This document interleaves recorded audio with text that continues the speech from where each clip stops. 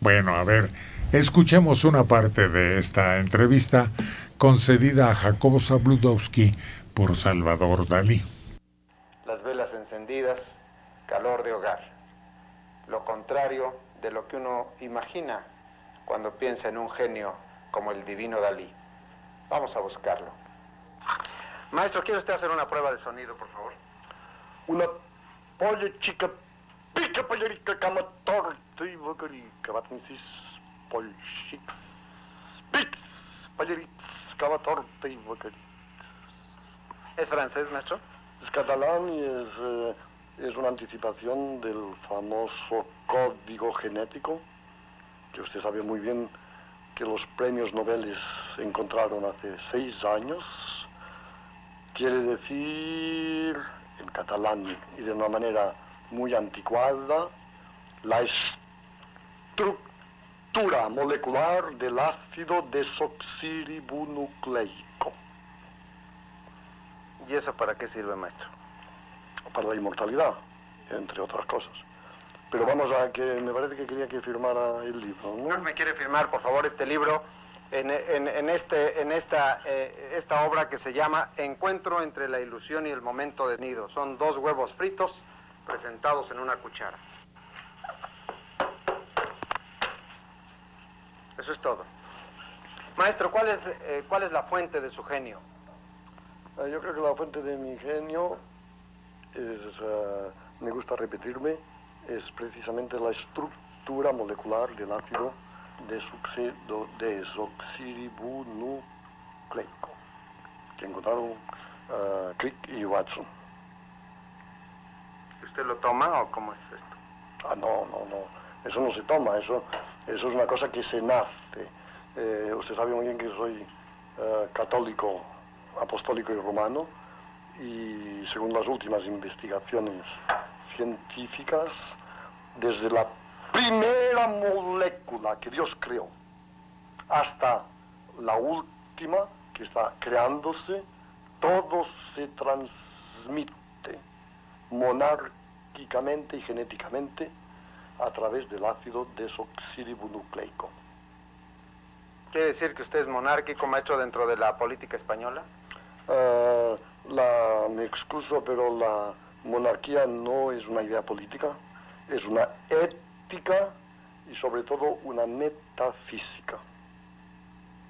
La prueba es que todos los partidos políticos, los más diversos y antagónicos, caben dentro de una monarquía. Y la última experiencia más sensacional fue de la de Rumanía, que durante dos años de comunismo estuvo su rey, convivió su, el comunismo convivió con el rey Miguel de Rumanía. Maestro, algunas gentes dicen que usted está loco. Ah, el primero que lo dijo fue precisamente Dalí, porque hace exactamente 35 años fue un día memorable cuando me pidieron eh, la diferencia que había entre un loco y Dalí respondí que casi ninguna. Que la única diferencia que había entre un loco y Dalí era que yo no estaba loco. Pero por los demás es casi lo mismo. ¿Cómo? No entiendo bien. ¿Cómo? No digo, la única diferencia entre Dalí y un loco es que no estoy loco. Que es una diferencia mínima, pero muy substancial. Maestro, ¿qué diferencia cree usted que hay entre Velázquez, Picasso y Dalí? Uh, voy a responder de una manera un poco más elíptica porque últimamente me dijeron cuál era la diferencia entre una muy buena fotografía, la mejor del mundo, muy real naturalmente objetiva, y el, un cuadro de Velázquez, que como usted sabe es casi fotográfico porque no hay ninguna diferencia, no hay ninguna deformación, o sea que si una cámara fotográfica se pone en el mismo sitio que el ojo del pintor, pues el resultado es muy idéntico, aparentemente. Y entonces Dalí respondió como siempre, de una manera brillantísima, que la única diferencia que había entre la mejor fotografía del mundo y un cuadro de Velázquez La única diferencia era exactamente la diferencia de 7 millones de dólares, porque se acababa de vender por 7 millones de dólares el retrato maravilloso que tiene ahora el Metropolitan Museum de Nueva York de Juan de Pareja.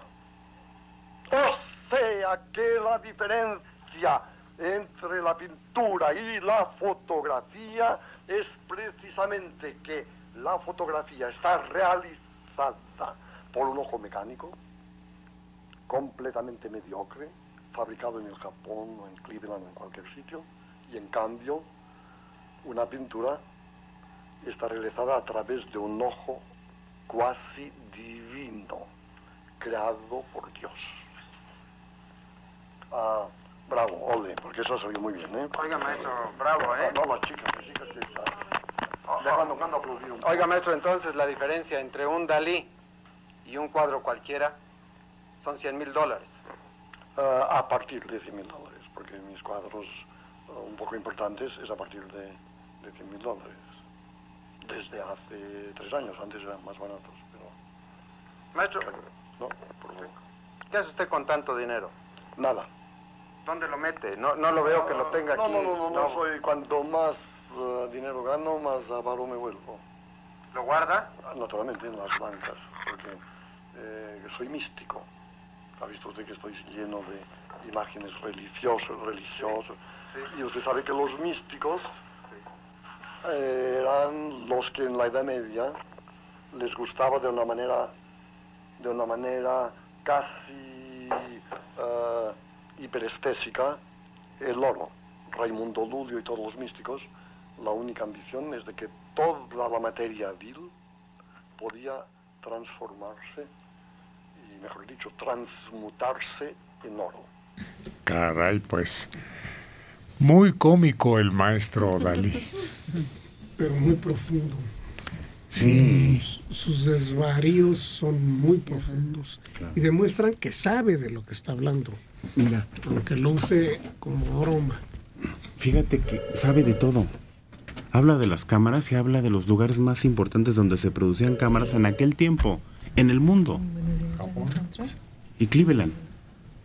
Es sorprendente que de todo, de química, de filosofía, de ciencia, de mecánica, es un hombre que tenía una cultura, bueno, es místico. ¿no? Y por ejemplo, saber quiénes, quiénes son eh, Crick y Watson, que son los que descubren la estructura del ADN. Estaba reciente. Era muy reciente, pero el hombre es de una cultura, bueno, por eso habla con una facilidad ¿Edad? y profundidad. Y así como tiene ese conocimiento pleno, también hace burla y se mofa. Hace un cuadro de gala ¿Usted con las chuletas, porque dice que es su mejor delicia, de lo que prefiere comer, y cómo no estar cerca de lo que más le gusta, que es la chuleta y, un- y una imagen de, de su esposa. Y que era súper fiel a ella, supuestamente, ¿Dónde? y Gala no tanto. Ella se amaba más a ella. De Santa Úrsula Chitla, 69 años, Enriqueta Durán Ramírez. Hace 10 años visité el Museo de Dalí en Figueres, España, y es impresionante, casi hipnótico. Saludos a Emilio Narváez López y a Cristina Fragoso. Son amigos que siempre los escuchan. María Castro Soto, de 67 años, de Venustiano Carranza. Con mi padre leí un libro donde cuentan que la mamá de Dalí tuvo cinco hijos más que él. A todos les ponía Salvador, pero morían muy pequeños y el único sobreviviente fue él, Salvador Dalí.